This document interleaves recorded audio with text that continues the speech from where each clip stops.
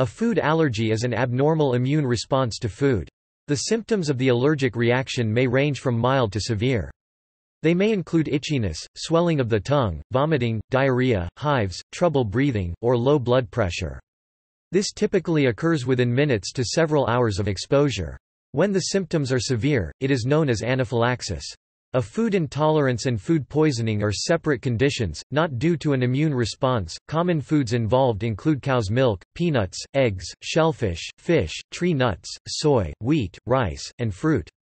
The common allergies vary depending on the country.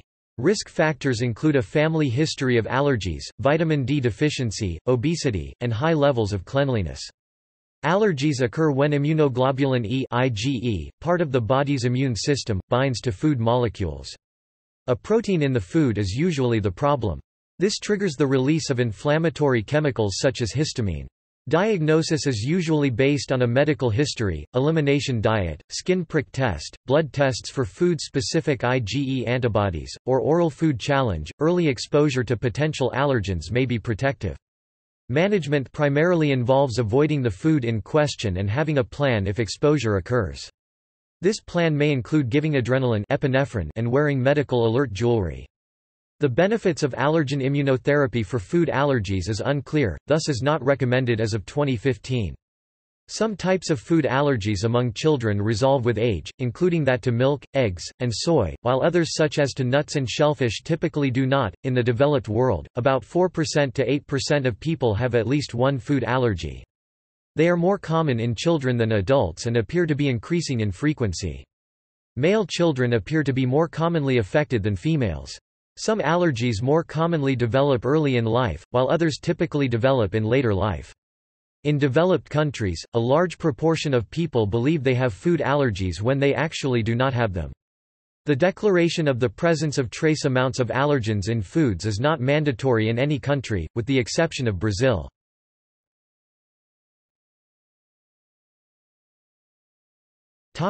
Signs and symptoms Food allergies usually have a fast onset from seconds to one hour and may include Rash Hives Itching of mouth, lips, tongue, throat, eyes, skin, or other areas Swelling angioedema of lips, tongue, eyelids, or the whole face Difficulty swallowing Runny or congested nose Hoarse voice Wheezing and or shortness of breath Diarrhea, abdominal pain, and or stomach cramps Lightheadedness Fainting Nausea Vomiting in some cases, however, onset of symptoms may be delayed for hours, symptoms can vary. The amount of food needed to trigger a reaction also varies. Serious danger regarding allergies can begin when the respiratory tract or blood circulation is affected. The former can be indicated through wheezing and cyanosis. Poor blood circulation leads to a weak pulse, pale skin and fainting. A severe case of an allergic reaction, caused by symptoms affecting the respiratory tract and blood circulation, is called anaphylaxis. When symptoms are related to a drop in blood pressure, the person is said to be in anaphylactic shock. Anaphylaxis occurs when IgE antibodies are involved, and areas of the body that are not in direct contact with the food become affected and show symptoms. Those with asthma or an allergy to peanuts, tree nuts, or seafood are at greater risk for anaphylaxis.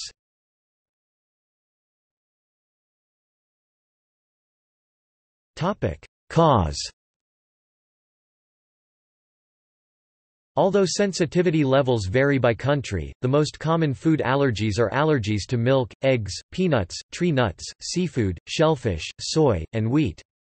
These are often referred to as the Big Eight.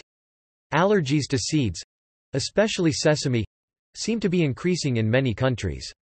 An example an allergy more common to a particular region is that to rice in East Asia where it forms a large part of the diet. One of the most common food allergies is a sensitivity to peanuts, a member of the bean family. Peanut allergies may be severe, but children with peanut allergies sometimes outgrow them. Tree nuts, including cashews, Brazil nuts, hazelnuts, macadamia nuts, pecans, pistachios, pine nuts, coconuts, and walnuts, are also common allergens. Sufferers may be sensitive to one particular tree nut or to many different ones.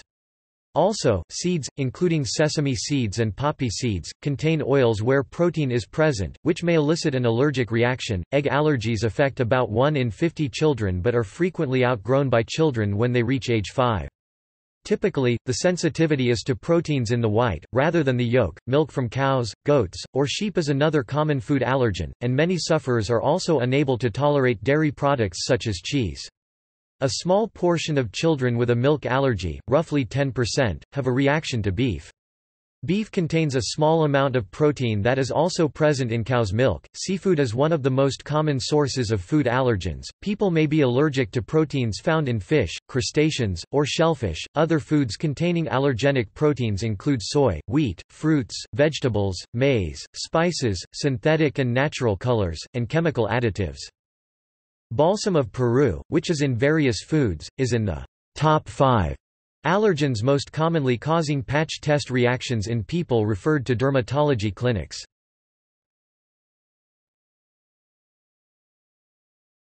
Sensitization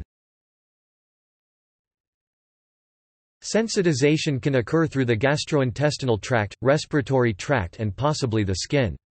Damage to the skin in conditions such as eczema has been proposed as a risk factor for sensitization. An Institute of Medicine report says that food proteins contained in vaccines, such as gelatin, milk, or egg can cause sensitization development of allergy in vaccine recipients, to those food items.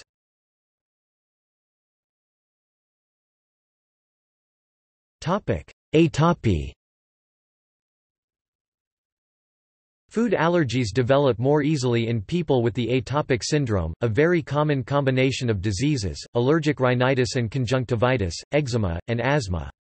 The syndrome has a strong inherited component. A family history of allergic diseases can be indicative of the atopic syndrome.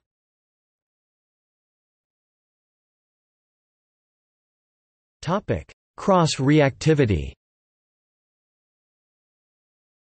Some children who are allergic to cow's milk protein also show a cross-sensitivity to soy-based products.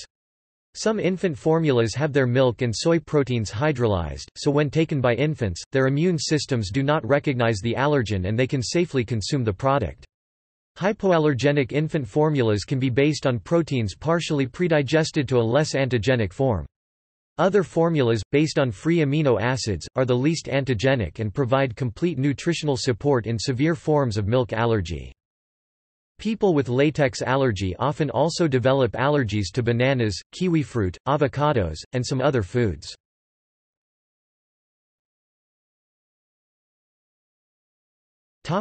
Pathophysiology Conditions caused by food allergies are classified into three groups according to the mechanism of the allergic response.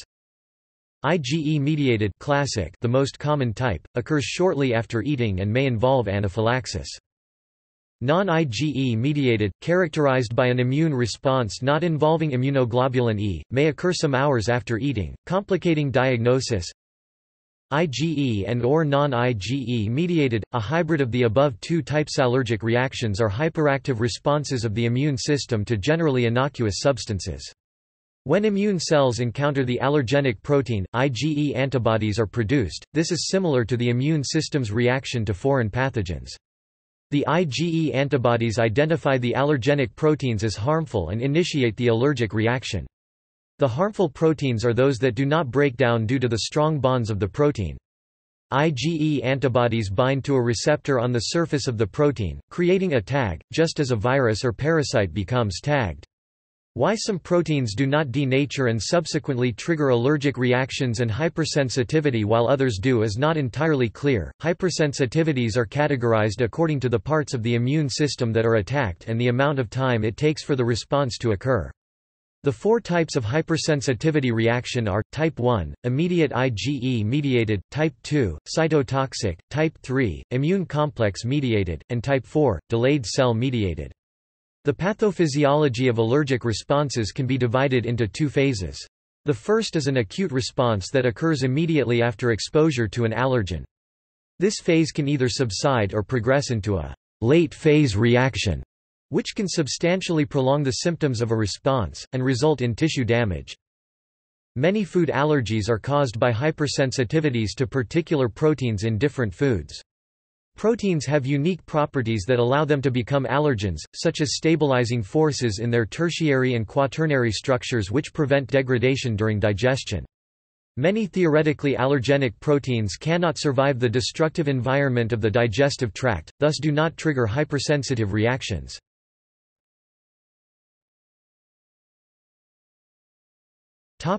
Acute response In the early stages of allergy, a type 1 hypersensitivity reaction against an allergen, encountered for the first time, causes a response in a type of immune cell called a Th2 lymphocyte, which belongs to a subset of T cells that produce a cytokine called interleukin-4 IL-4. .These Th2 cells interact with other lymphocytes called B cells, whose role is the production of antibodies. Coupled with signals provided by IL-4, this interaction stimulates the B cell to begin production of a large amount of a particular type of antibody known as IgE. Secreted IgE circulates in the blood and binds to an IgE-specific receptor a kind of Fc receptor called Fc epsilon Re on the surface of other kinds of immune cells called mast cells and basophils, which are both involved in the acute inflammatory response. The IgE-coated cells, at this stage, are sensitized to the allergen. If later exposure to the same allergen occurs, the allergen can bind to the IgE molecules held on the surface of the mast cells or basophils. Cross-linking of the IgE and Fc receptors occurs when more than one IgE receptor complex interacts with the same allergenic molecule, and activates the sensitized cell. Activated mast cells and basophils undergo a process called degranulation, during which they release histamine and other inflammatory chemical mediators cytokines, interleukins, leukotrienes, and prostaglandins from their granules into the surrounding tissue causing several systemic effects, such as vasodilation, mucus secretion, nerve stimulation, and smooth muscle contraction. This results in rhinorrhea, itchiness, dyspnea, and anaphylaxis. Depending on the individual, the allergen, and the mode of introduction, the symptoms can be system-wide classical anaphylaxis, or localized to particular body systems. Asthma is localized to the respiratory system and eczema is localized to the dermis.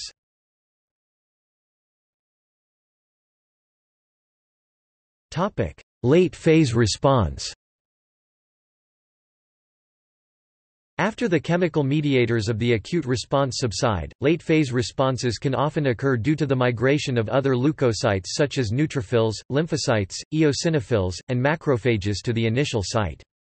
The reaction is usually seen 2 to 24 hours after the original reaction. Cytokines from mast cells may also play a role in the persistence of long-term effects. Late-phase responses seen in asthma are slightly different from those seen in other allergic responses, although they are still caused by release of mediators from eosinophils, and are still dependent on activity of Th2 cells.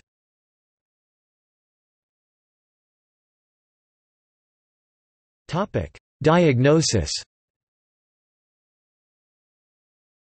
Diagnosis is usually based on a medical history, elimination diet, skin prick test, blood tests for food-specific IgE antibodies, or oral food challenge.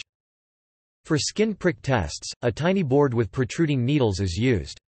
The allergens are placed either on the board or directly on the skin. The board is then placed on the skin, to puncture the skin and for the allergens to enter the body. If a hive appears, the person is considered positive for the allergy. This test only works for IgE antibodies. Allergic reactions caused by other antibodies cannot be detected through skin prick tests. Skin prick testing is easy to do and results are available in minutes. Different allergists may use different devices for testing. Some use a bifurcated needle, which looks like a fork with two prongs. Others use a multi-test, which may look like a small board with several pins sticking out of it. In these tests, a tiny amount of the suspected allergen is put onto the skin or into a testing device, and the device is placed on the skin to prick, or break through, the top layer of skin. This puts a small amount of the allergen under the skin. A hive will form at any spot where the person is allergic. This test generally yields a positive or negative result. It is good for quickly learning if a person is allergic to a particular food or not, because it detects IgE.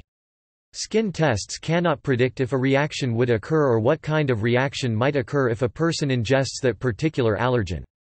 They can, however, confirm an allergy in light of a patient's history of reactions to a particular food. Non-IgE-mediated allergies cannot be detected by this method. Patch testing is used to determine if a specific substance causes allergic inflammation of the skin. It tests for delayed food reactions. Blood testing is another way to test for allergies, however, it poses the same disadvantage and only detects IgE allergens and does not work for every possible allergen. Radioallergosorbent testing is used to detect IgE antibodies present to a certain allergen. The score taken from the RAST is compared to predictive values, taken from a specific type of RAST. If the score is higher than the predictive values, a great chance the allergy is present in the person exists. One advantage of this test is that it can test many allergens at one time. A CAP RAST has greater specificity than RAST, it can show the amount of IgE present to each allergen. Researchers have been able to determine predictive values for certain foods, which can be compared to the RAST results. If a person's RAST score is higher than the predictive value for that food, over a 95% chance exists that patients will have an allergic reaction limited to rash and anaphylaxis reactions if they ingest that food. Currently, predictive values are available for milk, egg, peanut, fish, soy, and wheat. Blood tests allow for hundreds of allergens to be screened from a single sample, and cover food allergies as well as inhalants. However, non-IgE-mediated allergies cannot be detected by this method. Other widely promoted tests such as the antigen leukocyte cellular antibody test and the food allergy profile are considered unproven methods, the use of which is not advised. Food challenges test for allergens other than those caused by IgE allergens. The allergen is given to the person in the form of a pill, so the person can ingest the allergen directly. The person is watched for signs and symptoms. The problem with food challenges is that they must be performed in the hospital under careful watch, due to the possibility of anaphylaxis.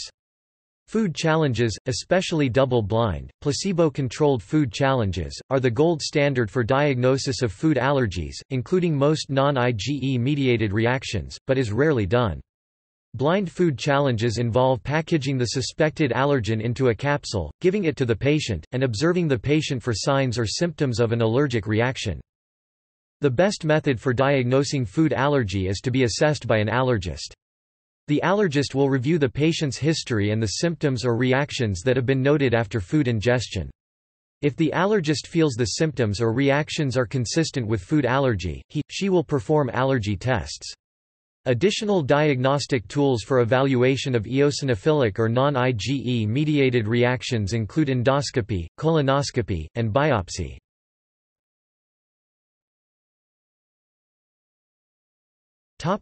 Differential diagnosis.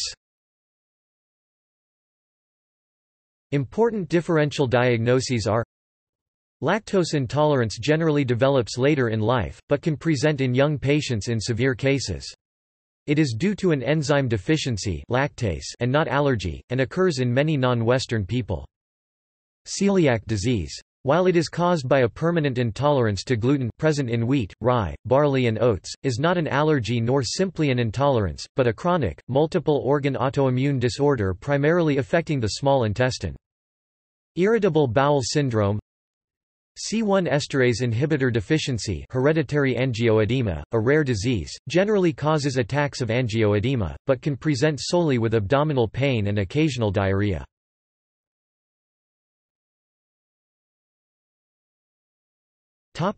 Prevention Breastfeeding for more than four months may prevent atopic dermatitis, cow's milk allergy, and wheezing in early childhood. Early exposure to potential allergens may be protective. Specifically, early exposure to eggs and peanuts reduces the risk of allergies to these. Guidelines suggest introducing peanuts as early as 4 to 6 months and include precautionary measures for high-risk infants. The former guidelines, advised delaying the introduction of peanuts, are now thought to have contributed to the increase in peanut allergy seen recently. To avoid an allergic reaction, a strict diet can be followed. It is difficult to determine the amount of allergenic food required to elicit a reaction, so complete avoidance should be attempted. In some cases, hypersensitive reactions can be triggered by exposures to allergens through skin contact, inhalation, kissing, participation in sports, blood transfusions, cosmetics, and alcohol.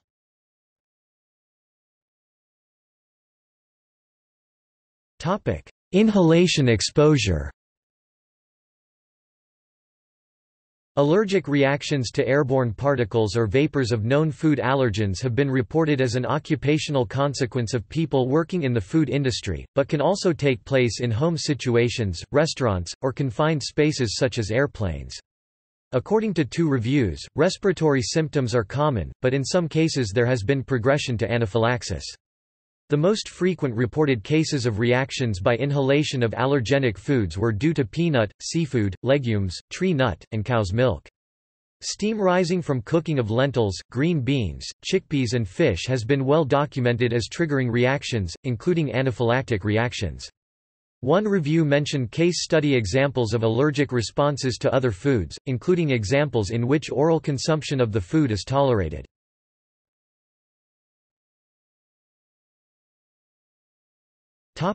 Treatment The mainstay of treatment for food allergy is total avoidance of the foods identified as allergens. An allergen can enter the body by consuming a food containing the allergen, and can also be ingested by touching any surfaces that may have come into contact with the allergen, then touching the eyes or nose. For people who are extremely sensitive, avoidance includes avoiding touching or inhaling the problematic food. Total avoidance is complicated because the declaration of the presence of trace amounts of allergens in foods is not mandatory see regulation of labeling. If the food is accidentally ingested and a systemic reaction anaphylaxis occurs, then epinephrine should be used. A second dose of epinephrine may be required for severe reactions. The person should then be transported to the emergency room, where additional treatment can be given. Other treatments include antihistamines and steroids.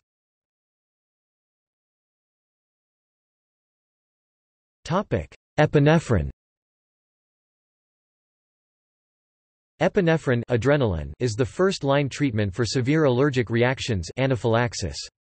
If administered in a timely manner, epinephrine can reverse its effects. Epinephrine relieves airway swelling and obstruction, and improves blood circulation, blood vessels are tightened and heart rate is increased, improving circulation to body organs. Epinephrine is available by prescription in an autoinjector.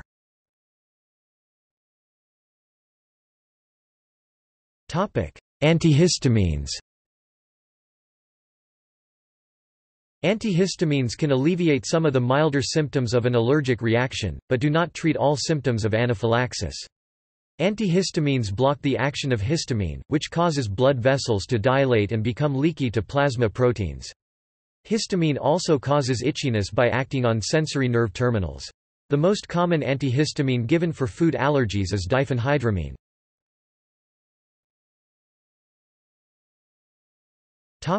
Steroids Glucocorticoid steroids are used to calm down the immune system cells that are attacked by the chemicals released during an allergic reaction. This treatment in the form of a nasal spray should not be used to treat anaphylaxis, for it only relieves symptoms in the area in which the steroid is in contact. Another reason steroids should not be used is the delay in reducing inflammation. Steroids can also be taken orally or through injection, by which every part of the body can be reached and treated, but a long time is usually needed for these to take effect.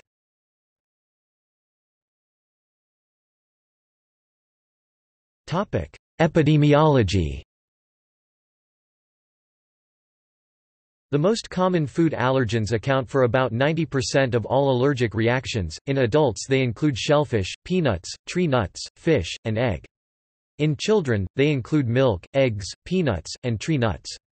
6 to 8% of children under the age of 3 have food allergies and nearly 4% of adults have food allergies. For reasons not entirely understood, the diagnosis of food allergies has apparently become more common in Western nations recently. One possible explanation for this is the old friends hypothesis which suggests that non-disease causing organisms, such as helminths, could protect against allergy. Therefore, reduced exposure to these organisms, particularly in developed countries, could have contributed towards the increase. In the United States, food allergy affects as many as 5% of infants less than 3 years of age and 3% to 4% of adults. A similar prevalence is found in Canada. About 75% of children who have allergies to milk protein are able to tolerate baked in milk products, i.e., muffins, cookies, cake, and hydrolyzed formulas. About 50% of children with allergies to milk, egg, soy, peanuts, tree nuts, and wheat will outgrow their allergy by the age of 6. Those who are still allergic by the age of 12 or so have less than an 8% chance of outgrowing the allergy. Peanut and tree nut allergies are less likely to be outgrown, although evidence now shows that about 20% of those with peanut allergies and 9% of those with tree nut allergies will outgrow them. In Japan, allergy to buckwheat flour, used for soba noodles, is more common than peanuts, tree nuts, or foods made from soy beans.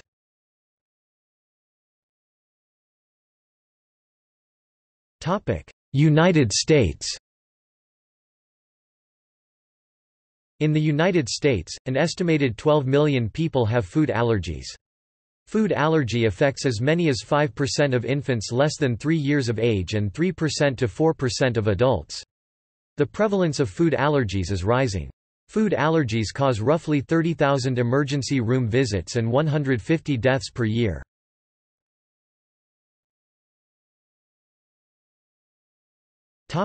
Society and culture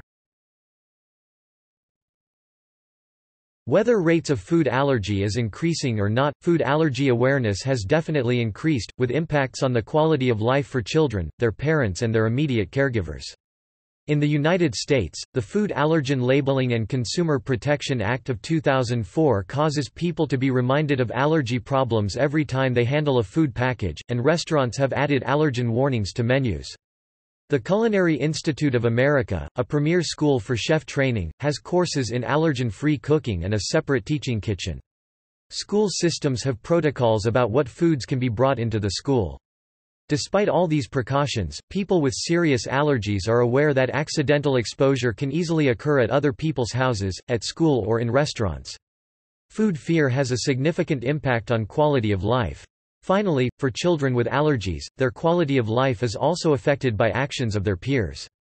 There is an increased occurrence of bullying, which can include threats or acts of deliberately being touched with foods they need to avoid, also having their allergen-free food deliberately contaminated. In the 2018 animated, live-action movie Peter Rabbit, rabbits used blackberries to deliberately induce an anaphylactic allergy response in a farmer who is trying to protect his garden. After many public protests, Sony Pictures and the director apologized for making light of food allergies.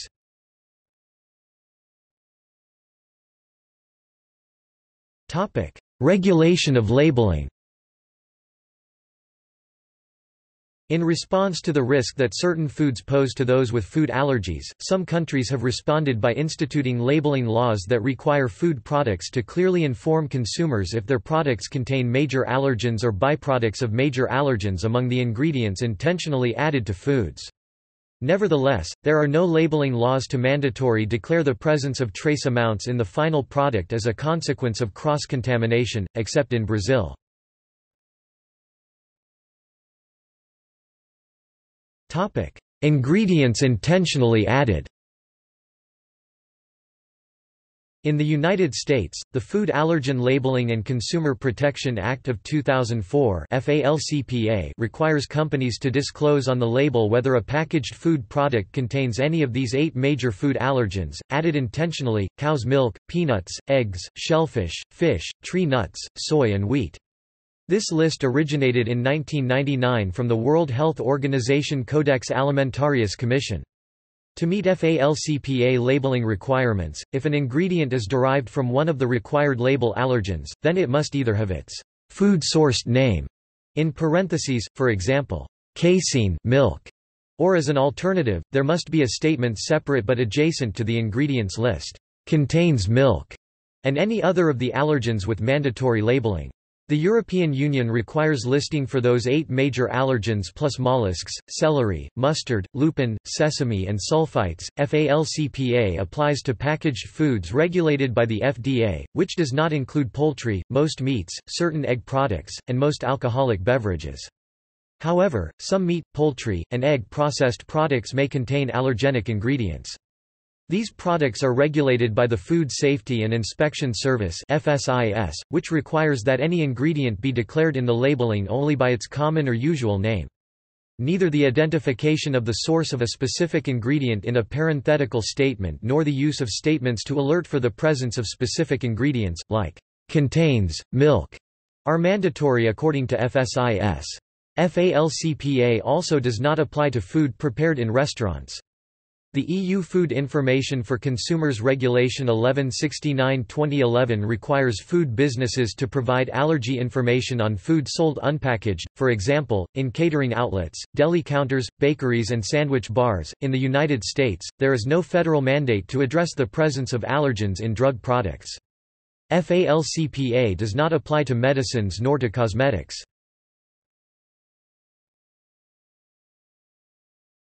Topic: Trace amounts as a result of cross-contamination. The value of allergen labeling other than for intentional ingredients is controversial. This concerns labeling for ingredients present unintentionally as a consequence of cross-contact or cross-contamination at any point along the food chain during raw material transportation, storage or handling, due to shared equipment for processing and packaging, etc. Experts in this field propose that if allergen labeling is to be useful to consumers, and healthcare professionals who advise and treat those consumers, ideally there should be agreement on which foods require labeling, threshold quantities below which labeling may be of no purpose, and validation of allergen detection methods to test and potentially recall foods that were deliberately or inadvertently contaminated. Labeling regulations have been modified to provide for mandatory labeling of ingredients plus voluntary labeling, termed precautionary allergen labeling labeling PAL, also known as may contain statements, for possible, inadvertent, trace amount, cross-contamination during production. PAL labeling can be confusing to consumers, especially as there can be many variations on the wording of the warning. As of 2014 PAL is regulated only in Switzerland, Japan, Argentina, and South Africa. Argentina decided to prohibit precautionary allergen labeling since 2010, and instead puts the onus on the manufacturer to control the manufacturing process and label only those allergenic ingredients known to be in the products. South Africa does not permit the use of PAL, except when manufacturers demonstrate the potential presence of allergen due to cross-contamination through a documented risk assessment and despite adherence to good manufacturing practice. In Australia and New Zealand there is a recommendation that PAL be replaced by guidance from Vital 2.0 Vital Incidental Trace Allergen Labeling. A review identified, "...the eliciting dose for an allergic reaction in 1% of the population," as EDO1. This threshold reference dose for foods such as cow's milk, egg, peanut and other proteins will provide food manufacturers with guidance for developing precautionary labeling and give consumers a better idea of might be accidentally in a food product beyond may contain. Vital 2.0 was developed by the Allergen Bureau, a food industry-sponsored, non-government organization. The European Union has initiated a process to create labeling regulations for unintentional contamination but is not expected to publish such before 2024. In Brazil since April 2016, the declaration of the possibility of cross-contamination is mandatory when the product does not intentionally add any allergenic food or its derivatives, but the good manufacturing practices and allergen control measures adopted are not sufficient to prevent the presence of accidental trace amounts. These allergens include wheat, rye, barley, oats and their hybrids, crustaceans, eggs, fish, peanuts, soybean, milk of all species of mammalians, almonds, hazelnuts, cashew nuts, Brazil nuts, macadamia nuts, walnuts, pecan nuts, pistachios, pine nuts, and chestnuts.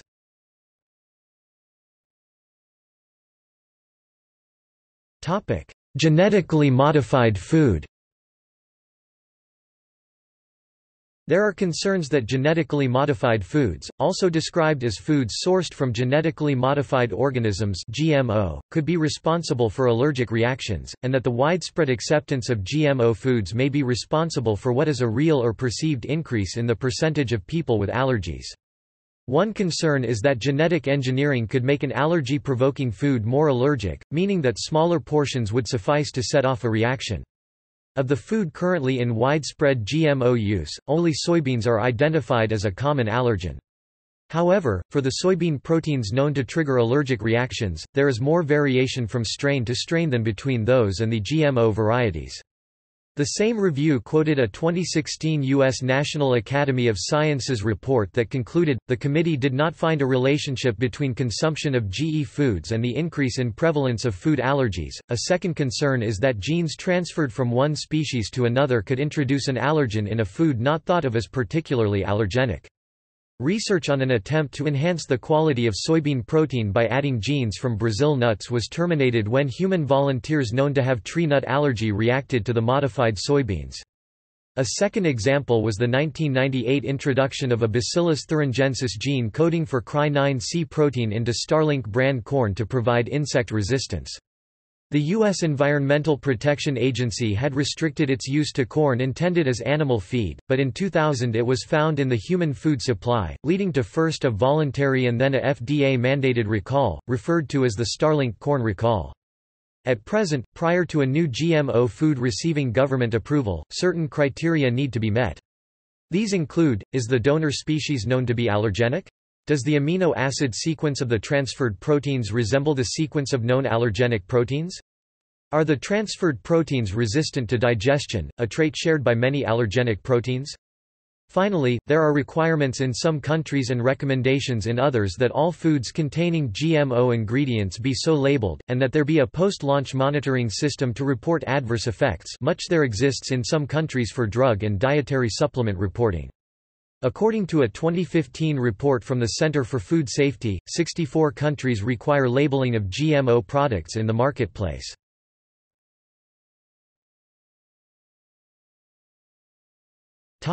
Research A number of desensitization techniques are being studied. Areas of research include anti-IgE antibody omalizumab, specific oral tolerance induction SOTI, also known as OIT for oral immunotherapy, and sublingual immunotherapy SLIT. The benefits of allergen immunotherapy for food allergies is unclear, thus is not recommended as of 2015. There is research on the effects of increasing intake of polyunsaturated fatty acids (PUFAs) during pregnancy, lactation, via infant formula and in early childhood on the subsequent risk of developing food allergies during infancy and childhood. From two reviews, maternal intake of omega-3, long-chain fatty acids during pregnancy appeared to reduce the risks of medically diagnosed IgE-mediated allergy, eczema and food allergy per parental reporting in the first 12 months of life, but the effects were not all sustained past 12 months. The reviews characterized the literature's evidence as inconsistent and limited. Results when breastfeeding mothers were consuming a diet high in PUFAs were inconclusive. For infants, supplementing their diet with oils high in PUFAs did not affect the risks of food allergies, eczema or asthma either as infants or into childhood. There is research on probiotics, prebiotics and the combination of the two synbiotics as a means of treating or preventing infant and child allergies. From reviews, there appears to be a treatment benefit for eczema, but not asthma, wheezing or rhinoconjunctivitis. The evidence was not consistent for preventing food allergies and this approach cannot yet be recommended.